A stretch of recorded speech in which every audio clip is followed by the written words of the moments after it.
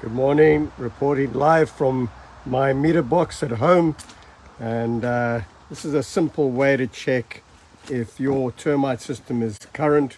You go to your meter box and um, have a look for, let's see if you can see that, a durable notice.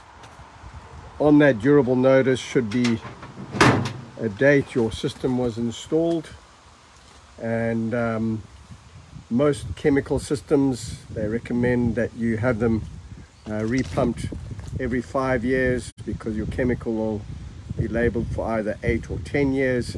And uh, therefore the logic is that it's half as good at four or five years. So if you have a regular repump of your chemical system um, every five years then all you're doing is you're reducing uh, your termite risk to your home, protecting your property, and um, it, it, it's really important to consider having a professional um, termite inspector inspect your home because he's able to work all that um, detail out for you and advise whether your home uh, is due for a new termite system.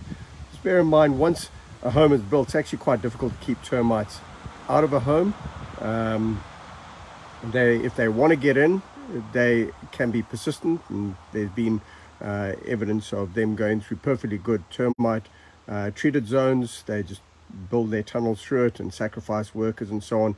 Uh, they're an interesting insect. If they want to get in um, it, it is a challenge to keep them out. So uh, keeping your system topped up um, is definitely a step in the right direction. And um, consider having annual termite inspections uh, at least um, uh, conducted by a professional. See you later.